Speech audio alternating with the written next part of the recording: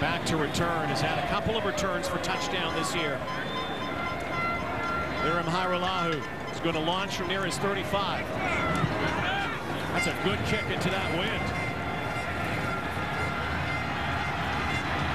Jones.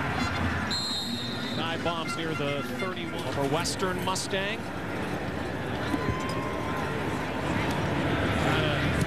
Angle this kick.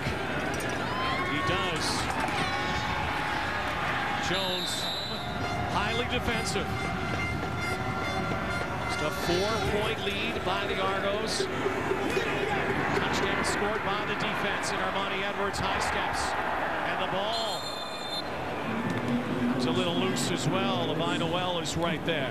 Out. It's so natural as a quarterback that once you get smacked a couple of times, you're gonna, you may start chucking and ducking. And Ricky never has.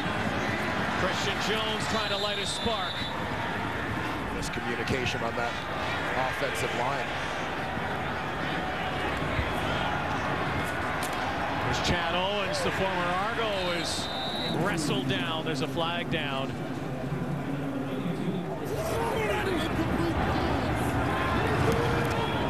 Hajrullahu into that breeze.